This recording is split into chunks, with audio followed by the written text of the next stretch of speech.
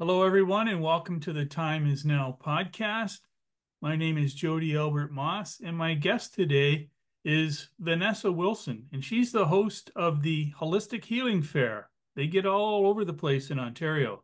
So I'm going to turn it over to her, and she'll give us a bio and some information, and we'll move forward. Vanessa? Hi, yeah. So I'm Vanessa Wilson. Um, I started running the Holistic Healing Fairs in 2016 in Sudbury my next event is going to be my 100th event, and that'll be in Kitchener. Um, the Holistic Healing Fairs are a wellness, mental health focused event. Uh, it's free to attend and it showcases different wellness practitioners and all things wellness, I say. Um, and it's encouraged for everybody to attend of all walks of life and all walks of healing, no matter where you are in your healing journey. Um, and it's been a really heart filling thing that I've been able to do since 2016. That's great. I've been fortunate enough to attend a few of your um, healing fairs. I've been around. I went to St. Catharines. We went to Ancaster. I forget where, where all we've been, but you really attract a diverse um, group of vendors. I'll, I'll call them vendors, mm-hmm. exhibitors, or whatever. Uh, there, there's a, a, very broad spectrum. Like there's everything from uh, I've seen tarot card readers there and people that get messages for people. And I, I I seen a fellow that had a light up pendant on that worked with energies. So yeah. how do you find all these people? I guess because you've been doing it for years. Yeah, so in the beginning it was hard. Um, there's been a lot of challenges. I'm really trying to find like heart-centered people was my goal. Um, I I really love that the crowd that follows around and the vendors that join, like they're very heart-centered. Um, I I really don't put a cap on wellness if someone thinks that what they have can benefit someone, whether it's like a religious party or someone that does readings or all natural stuff, you know, anything education based. If there's something out there that can help someone and they want to join, I open the door. Um, I just have the, you know, the morals and valuable standard at the event where it's like they have to be like the ego's at the door. Um, they have to be there for the right reasons and so far it's been really successful um, over the years. The pandemic really had a lot of people fall off. Um, i had a lot of people show me their true colors in terms of uh, where their healing was and it was very valuable in terms of kind of creating space for new because since the pandemic it has been uh, like the most amazing people have been coming out and and showing up and holding space as as vendors at the event. And that's what i found by attending.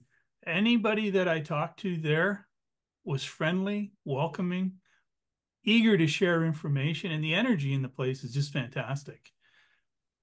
I, was going through your uh, website, and we'll post all this information um, when I post this podcast.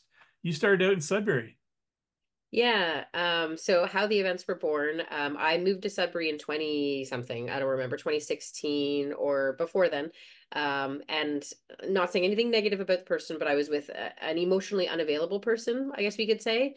Um, and being far away from my friends and my family, I kind of took a dive into um, depression um, and it's something that I've kind of gone in and out of my whole life ever since being a teenager. And um, that's a whole other story. Um, but in 2016, I walked into the crisis center in Sudbury and I sat on the psychiatrist's couch. And he's like, I told him, like, I don't want your medication. And it's not that I have anything wrong with medication. I just know in my per- personal circumstances, previously I was on it for so long um, that I'd fought to get off. Um, but yeah, so he told me I think I just you just need validation. Um, I ended up having a Zoom call, um, a hypnosis and emotion code session with my friend Ashley O'Connell. Um, and during that session, she said, you know, why don't you just create an event? And my first event, I had a goal for like 30 vendors. I had over 72 join, um, and we had over a thousand people show up that day to attend. And that's when I knew that there were so many other people just like me that needed help. Um, so they were born in Sudbury. I was only in Sudbury for about four years of the duration, but um, my lowest points there brought me to my future, which is really special. It's interesting, and I'll use the term the universe. You could use creator, God, whatever you want. It doesn't matter. It's a name, right? Has a way of breaking us down, and it's not always an easy path. And I know through my own experiences, and you may agree with this, that we may not look at things the way we did if we hadn't been in that low spot. Absolutely, I agree with you. Yeah. It's a turnaround place. And uh, it's not easy. A lot of people say they want to do the right thing. Um, your motto, I guess it is, about bringing people together and letting them know they're safe, and that's that's that's the same um, things I say to people. I want to bring everybody together, and you know, I think we find that when we hit our hard times, we Mhm. tend to want to isolate. And that's Yes. not a good thing because really, all the listeners, you're not the only one going through it. Others have been through it, others will go through it. So connect with like minds. And that's what I like about these shows because even the people who attend are friendly. It's Yeah. like really incredible. Yeah, it's a it's amazing how many different walks of life come through the door. Um, some people that are experts in the wellness world, some people that have never experienced it at all, like they have no idea. Um, and it's it, the idea is creating a safe space for vulnerability um, because there is strength in vulnerability, and we all too often kind of show up with all of these walls or misinformation or whatever the case is. Um, I try to make sure that it's meeting people wherever they're at. Like I'm not against pharmaceutical businesses. I'm not against, you know, not seeing your doctor. Um, the big a la carte menu of the holistic healing fairs is that you know if you're prescribed a pill from your doctor that's great but then there's the wellness as a whole. Like there's not they're not asking how much water you're drinking. Are you stretching? What are you consuming? What's in your body on your body? How you're speaking to yourself and different things like that are available at the holistic healing fair. So it provides more information for you know learning to be well with yourself. It's true, and it is a it is a place to gather information, and that's Mhm. very important because you know I, I don't care what anybody does. I just think they should have the choice to decide for themselves. And a lot of things that I found with some people is they'll get a little piece of information and they'll go flying off on that. I believe we should get information from all aspects Western medicine, Eastern medicine, food, diet, the whole spectrum. Get as much information as you can. And that's what's available at your your shows.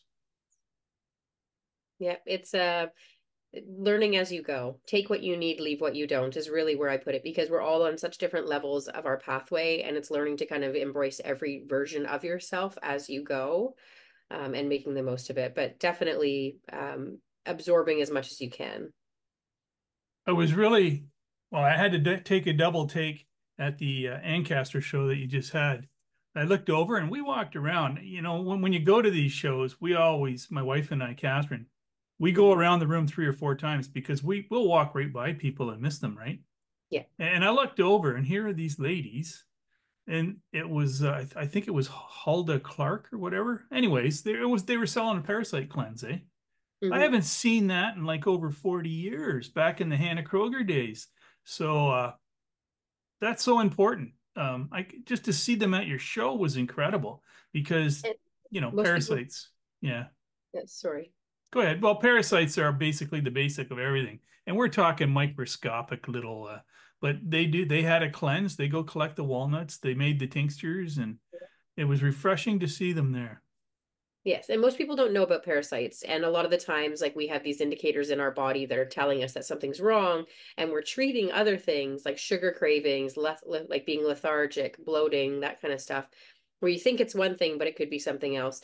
Um, the education part of something like a parasite cleanse is very important because people need to do the full circle of education on it. It's not just hearing about it, thinking about it, like seeing a video on TikTok and then just going and doing one. It's like really learning your body the potential dangers and the benefits at the same time. Um, I think that the booths that we have, they're really good on educating and being smart about it as well and and providing safe products. Yeah, it's incredible. Um, tell me about your vendors table. I seen you've My- started setting up a table, and I think you have a book, don't you?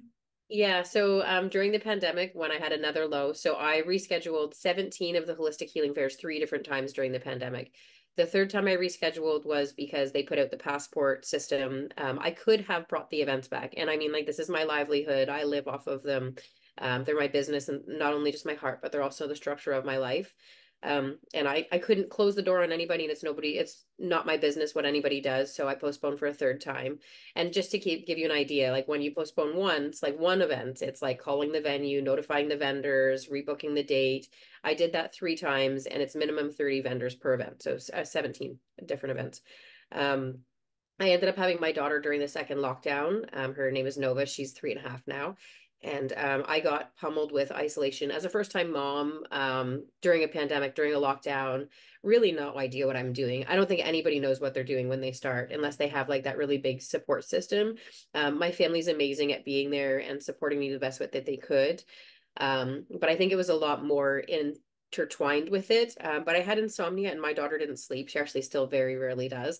And um, I originally started thinking of questions because, in terms of journaling and outletting, I can't look at a blank piece of paper and journal.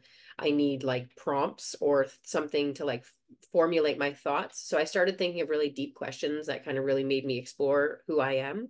Um, and I loved even more exploring my answers, but then I kept them all, compiled them into a journal, and now I have a journal that I sell at my table. So it's a, uh, and I never thought I'd publish a book. It's interesting because without the pandemic, I wouldn't have been put in the position of doing that. My cat has paper behind me. um, yes, it's a, a really special, another turnaround circle kind of thing of in one of my lows just you know i didn't even know what i was doing i was just doing it. And it was really cool because in the middle of the night i'd wake up i'd think of a question because that's kind of became my theme of okay like if i'm just spiraling anyways i'm just going to think of a theme. I'd think of the question but i knew if i didn't write it down that i'd wake up and it would be gone. So i would get up write it down go back to sleep and then woke up and had no idea what i wrote. So it was some would say it was channeled some would say it was just you know it was just one of those most interesting things like where your body can bring you when you kind of just trust one toe in front of another when you have no idea what's happening and and it just kind of all fell together really beautifully. That's great. It's it's it's the journey eh? It's the life path and it never ends. Once you're open to it it just keeps going on. Um, yeah. what kind of people are vendors? I know i touched on the people that i was attracted to. Um, i guess all that information's on your website like say someone wanted to be a vendor or yeah, so under the exhibitors tab on my website, um, there's a full application form. I'm announcing my 2025 lineup um, at the end of next month. And that'll be like at the minimum of, at the end of next month. Um, so if you wanted to become a vendor, that's on my website. Um, and depending if you're interested in the cities, like seeing what vendors are at each event, you can go on my website and see them there as well. Next year's going to look a little different. Um, I'm phasing out summer events. Um, I'm putting back to back events all in the spring and the fall, and in the summer, my poor cat in the back there um, is um, going to be a retreat that I'm organizing, and then just maybe one or two summer shows, including one in Newfoundland. So, yeah, I'm glad you mentioned the Newfoundland one. That one, yeah. that would be very interesting. Yeah, because I went to Newfoundland this summer. I have family there, um, and Newfoundlanders are like the most deserving, love-filled, kind, gentle people. Um, and most people that run uh, events similar to mine, they go west, but they don't go east. Um, and we'll just have to see how it goes. Yeah, and I know from talking to you in the past, like you're all over Ontario. You do the Northern Ontario routes too. Do you want to name a couple cities that you're in and? Um, for like? the north, Sudbury, Sault Ste. Marie. Um, I'm doing North Bay again. I'd love to do Thunder Bay, but it's getting a little bit too far. Um, but and then from Windsor to Sault Ste. Marie, everywhere in between. yeah, that's all over the place. Yeah. Uh, we have family up in Bruce Mines. That's 40 minutes this side of Sault Ste. Marie, like the oh, east yeah. side. That's a nice little town you may want to consider. There's lots of support in the summertime, anyways. A lot of the Americans come in. Yeah, I'm always open. Uh, so I'm a big person on resistance and flow. As soon as I feel resistance, I flow away from it. So like if someone mentions a city to me, I'll explore it. If it works, it works. If it doesn't, that's okay too. Yeah. I definitely can do it. Yeah, and I know we were talking about even setting up this podcast and yeah, sure, that's fine. I don't care. Yeah, whatever. I've had enough stress in my life. I'm 40, yeah. what am I now? 64. And you know, I don't want that moving forward. So I try to stay as calm. I meditate a lot and that's awesome. If it's not happy and we're not getting along, it doesn't work. You know, you got it. Life is you, so much easier that way. You have a cat. We have two cats. It's I yeah. like I like cat energy.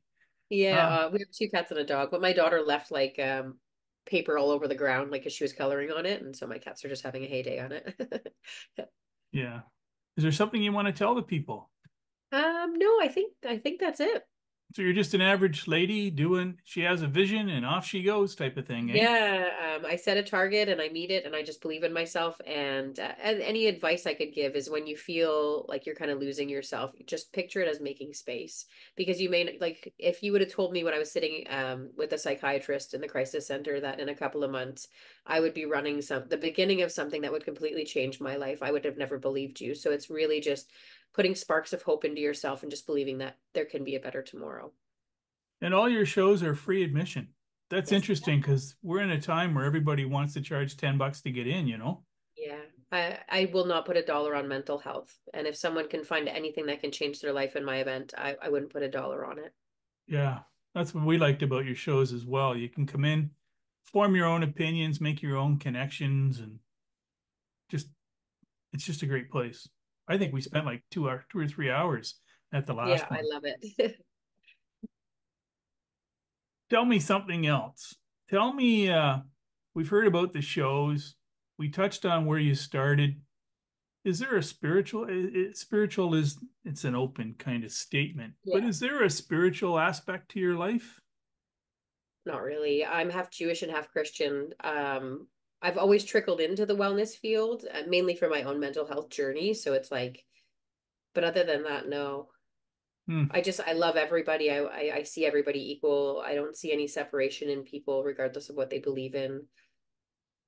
That's how I try to live too. I, Yeah. I in this day and age where we are, everybody needs a title or a, a name to use as a reference point, I guess. But uh, I try to when people ask me what I am, I'm just me. You know, Yep.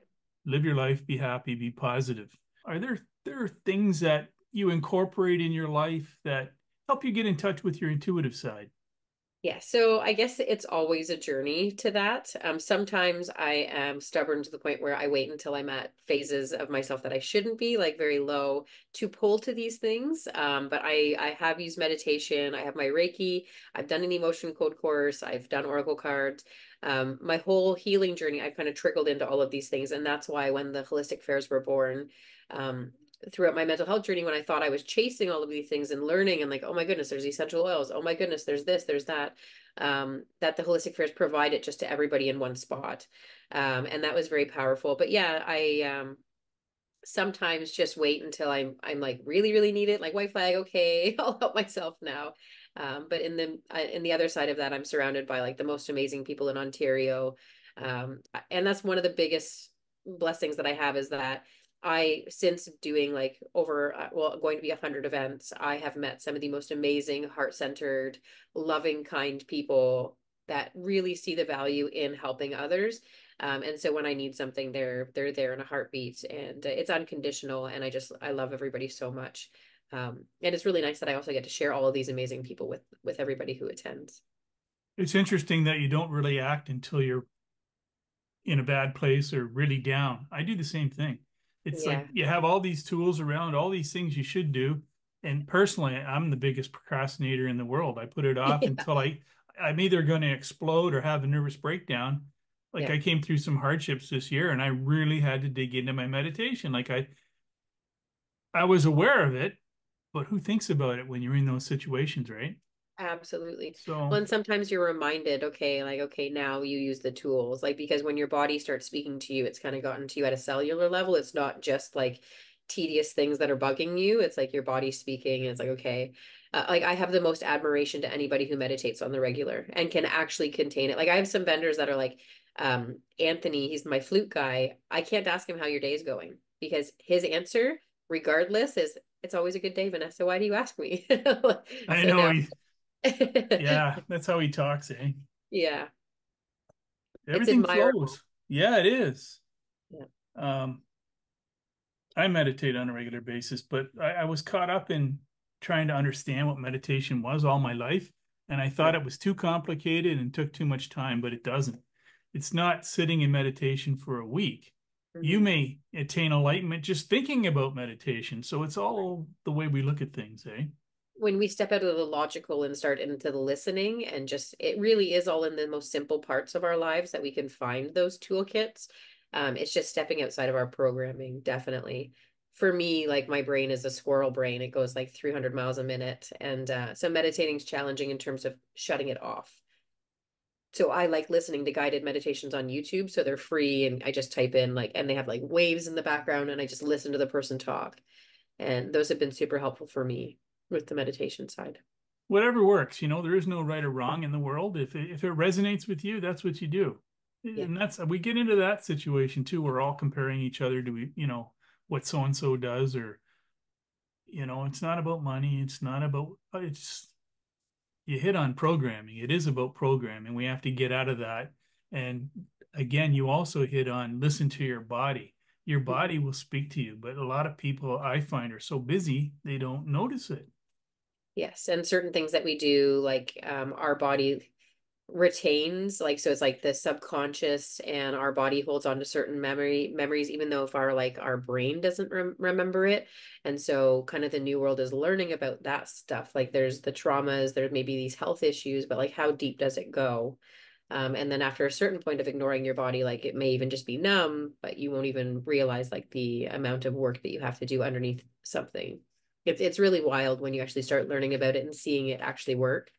Um, like if you were to tell me that you could release a trapped emotion from muscle testing at a distance, like to do like the subconscious um, muscle testing, which is kinesiology, and like tell it like she could Ashley O'Connell specifically could tell me like, okay, you were you know, this year's old, this is who was you were with, and this is the trapped emotion, what comes up. And then I it's like, and then she releases it and it's like a weight just going right off of you. It it really is something that you cannot explain. You have to experience to believe.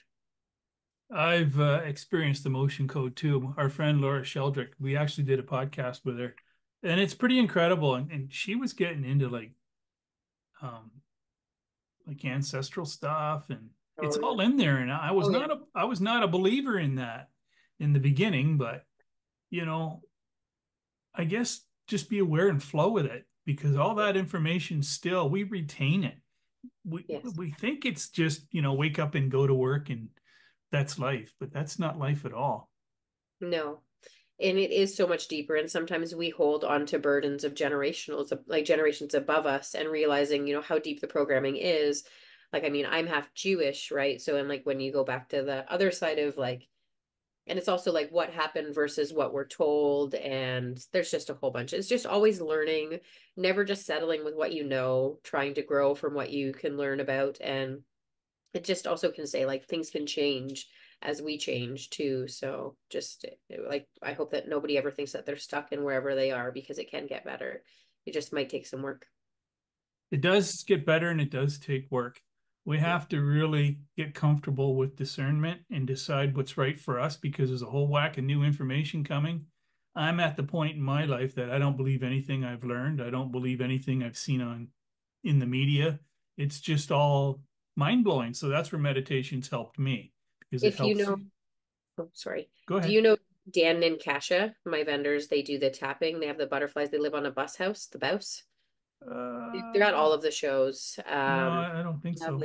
Danny's the one that told me when I started uh, the feeling path with them. They run a feeling path. Um, I did in 2018. He said there was never anything wrong with you. Life just happened to you, and that was the first time in my life I was reminded that there was nothing wrong with me because my whole life I've been told that there was something wrong with me. So when I touched on the medication thing earlier, um, I was prescribed antidepressants from 12, 12 until 22 when I was 12, I was a teenager, I was going through some stuff. Like instead of anybody asking me what was ha- happening to me, they just told me there was something wrong with me and gave me a pill. And then it was unmonitored. And whenever I wanted honor, whenever I wanted off, he said, well, you can raise the dose or we can change the pill. And it was 10 full years of my life, my whole puberty and everything that I was on the medication. Um, and always told there was something wrong with me and then getting off of them when i was 22 it was like i had to feel feelings all over again that i didn't even like i had forgot how it felt to feel different feelings because i was so numb from the medication.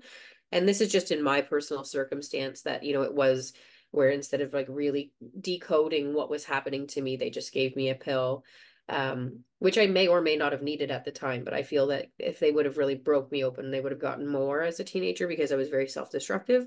Um, but yeah, Danny, hearing those words, and I share those words with so many people, anybody that I can, you know, that really thinks that they're just like labeled in this destruction. It's like there's never anything wrong with you. Life just happened to you. Um, and those words definitely like helped me with Danny, like helping me realize like the programming of like how deep our programming is of what we're told. I like that. And you know, if we could just go back to that time from the second we're born until they gave us our birth certificate and we started the programming. Mm-hmm. That space in between is who we are. And life did happen to us.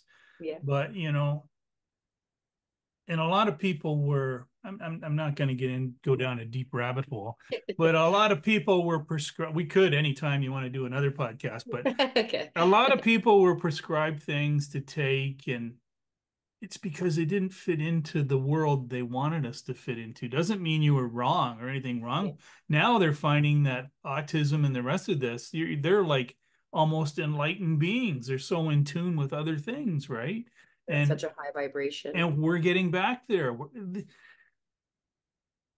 prophecy, there was a prophecy, you know, years ago, and we've hit the point where we were supposed to decide are we going to take the spiritual path or are we going to stay on the material path? That time is past. I think it's called the eighth fire prophecy or whatever. Um, if you don't choose the spiritual, you can go the other way, but things are going to get rough for you because I think our our our our soul or our higher self is going to make the right decisions, even if we don't know that it's making the right decisions, and it's just going to shake everything up. And that's yes. where we are right now, right? And it's going to get uncomfortable, but when it gets uncomfortable, you have to move. You have to decide to move and change, and like also understanding that when you lose stuff, you're making space. You you just don't focus on the loss; you focus on the space that you're making when you make changes yeah. and hang around like-minded people and, and come to yeah. your shows. yeah. We like it. We're so charged after we leave because we're around people we can have conversations with, you know? It's definitely a community. Um, and it's a community for the right reasons. And I think that's what I love it the most. Like, so I like with this year alone, it's 33 of the events. And with me having a three-year-old, you know, it's um a lot of work. But for me, it's not as much work because I love what I do and the people make it so easy. I mean, like I feel like I'm just a professional problem solver at this point because stuff is going to happen and it's going to go wrong and it's my job to fix it. All the other small details just fall into line and I get to see my friends, like the family that I've built over time and meeting new people and like in certain circumstances, you know, they're new, they're scared, they're like this is my first market. I'm like you won't have a worry at all. You know, reach to your neighbors, ask me if you need anything, like just you know, just show up as their full selves. It's really special. And yeah, I um I'm exhausted after my events, but I'm always happy at them because they're the group is so good. It's a lot of work on all levels, like mental, physical, spiritual, whatever, energetic. It, it does. You may think it's not affecting you, and it's not. It's it's positive, but it it does take energy from you, right? Absolutely. Well, I'm still looking forward to sending my application in to be a vendor soon. I'm working. I was working on it before we came on here today, and you can see some of my stuff in the back I made over 30 years ago. Um, so yeah, we'd like to get part, become part of that team and that would be amazing. I look forward to it. It's exciting. Like it's just so I, I know I sound like I'm over the top, but we we look forward to your shows. And I think Kitchener's coming up, you said, right? Yeah. We um, might even, not this weekend, but next weekend. Yeah. Well, I don't we might be up north. I got family stuff going on up north, eh? I see yeah. the the the uh, Sault Ste. Marie shows coming up, but I'm not sure yes. I can be there for that. Oh, see, I, I love the northern shows like Sudbury, Sault Ste. Marie. Like they're just they're super special. Like the, the quality of people. I mean, like the city people are good as well, but there's just a different type of people up north. Um, yeah. and they need it so they need it so much because they don't have a lot to do up there other than like the usual. And I find with everything, eh? whether it's a show or whatever, but the the people hosting them they want convenient. They don't want to go too far. They don't they want everything to basically come i've been through it. We did shows for years. And that's what i liked about you. You go you said to me you go where you th- you believe the light needs to be or the energy. Is that how you put it? Um i don't know. Sometimes i say it as a lighthouse mentality. I just put the light out and the right people show up uh, like I, I, and for some reason, like even if the show isn't the attendance what I wanted to, like I, I firmly believe that some people call us there. Like yeah. it was maybe for that one person, and all of their angels and stars like aligned us and shook us and threw us there because it was for that one person. But yeah, we we put the light out everywhere that we are for sure. Like you even go to Manitoulin Island. Yes, I do. I love the island. That's one of my favorite shows. Yeah. Yeah. You want to talk a bit about that? I've never been to Manitoulin Island. I've been by on the 17 in where is it, Espanola, where you turn down, but uh, you have to go if you could make it to the September show. I think it's at the end of September. Um, that's when the salmon are spawning and they all climb the river. Um, there's Bridal Veil Falls. So what I like about when I place the Manitoulin show is the tourists are gone. It's mainly just islanders that are there, mm-hmm. um, and they are the most welcoming, loving. Like, and there's something about Manitoulin Island on a vibrational level that most people that go there want to stay. Like it's a place that will continue to call you after you've been because it's just um, the water, the people, the environment, the views. Um, it is a very special place to be. A friend of mine was telling me about Manitoulin Island. I, I've been around in the old days, and he was saying there was crystal bells or stone bells on the island, and they're still there apparently, that they would ring big ones and it would reverberate the energy out over Ontario for sure. And it would call them for ceremony. Oh, wow. So it's See, very I, interesting. I only get a couple of days at a time. Like I go up and then I come home after the event. So I not very often get a chance to explore, but that sounds amazing. Yeah. Uh, maybe yeah. Well, I know I, I, appreciate your shows going as often as they do, but I understand that it really eats into your family life and your time, especially with a little one. We've been there, done that. Yeah. We, we used to take our daughter to the shows. Oh wow. In a way, you know, it allows me more time with her because if I worked Monday to Friday, I'd never see my daughter. Um it's so it's a it's provided me the ability and like during the pandemic I had the most unconditional one-on-one that like is not really experienced in any other forms because it, everything was closed. There was nothing around. All we had was each other. Um, and then blending the both worlds together. But yeah, no, I feel like in a way my events provide more for my daughter because she's able to like see me during the week. Um, I just have her in childcare a couple of days a week just for me to do the background stuff. But um, yeah, it's it's really cool that I'm I'm not in a nine to five. I appreciate that. And I think it's very important that the young people experience this. Um, yeah. I call them young people because actually they're probably older than us, um, soul wise. You know, they have a lot of knowledge. And we took our daughter; she's been exposed to everything, but then they hit the teenage ages, you know, years, yeah. and oh, that's not cool. My friends aren't into that, but she's coming around now. She's twenty, so nice. Yeah, society tells them that everything that they shouldn't be, right? So, like, and yeah. Nova's only three, so she's being exposed to everything. Like, she thinks my world is amazing, like with my vendors and my events, and she has her own little vendor table set up where she sells things in the living room and stuff like that. Oh, that's great. Yeah, I I hope I can only hope that she wants to pursue something like that because I, you know, she's going to be exposed to it all, but I'm I'm okay with whatever she chooses we just have to be there for them. They they get the influences from the educational system, and you know yeah. we we have to we live here, you know, and I, I we live in this world, so we have to be of this world, but not controlled by it. So we it. just put them out, give them the best support we can, and if they have troubles, let them know that you're there. You know, yeah, that's all you can do. Yeah, I mean, you gotta I, love them through it. I'm a very protective dad, but I've I've learned how to meditation has helped me with that one because yeah. you know I came from in my family where it was not bad but disciplined, right? Maybe to too far, so that when I turned 21 and got out of the house, I just went crazy. So yeah. I try to just be a little more, I don't know, understanding. You give her room to breathe. Yeah. Without like without you know taking away her ability to make the decisions. That that's challenging. I could even see that with a three-year-old you know like not wanting to make every decision not wanting to protect everything and sometimes you have to let them learn the hard way as long as they're safe right? I think that's yeah. the best for them. And i know what we did in our life like she had the spiritual from the shows and the crystal. We our house is full of crystals and pyramids yes. and all kinds of things. But i also made the decision because you know we live we learn we we we, we do things differently my mm-hmm. our daughter's involved in every business decision we make, every financial decision we make. She knows the dollars, where it's being spent. Because That's otherwise, amazing. you know, they hit an age and then they're out of the house and they got to learn all this stuff. They don't get it in school. So That's amazing that you can do that with her. Yeah. Well, it's just two women and me here, so I'm outnumbered. Yeah. I got to go for the ride. well, this has been great. Yes. Give us you. some information. Just you know, tell us how to get a hold of you. Okay. Tell us maybe the next show is Kitchener, and yeah. uh, I'll put the website up when I put the links up, and let's hope we can help some people. So tell us how how they get a hold of you. Um, so Holistic Healing Fair is listed on Facebook and Instagram. Um, if you wanted to give us a follow, you can see the event updates as they come out, plus a lot of positive quotes. Um, holistichealingfair.com is my website. It has all of the upcoming events. Um, it will have 2025 listed, um, as well as if you're interested in vending or becoming a vendor. Uh, my application is super thorough because I don't have a lot of time to answer little questions and whatnot. So you'll find like I have a lot of the specifics really available and ready. If you have any questions about it, like please explore my event page. Um, the like terms and conditions, the application has it all. Um, and yeah, I'm I'm Holistic Healing Fair on Facebook and Instagram. That's wonderful, wonderful, and I want to make a comment about that too. I know the Instagram for sure.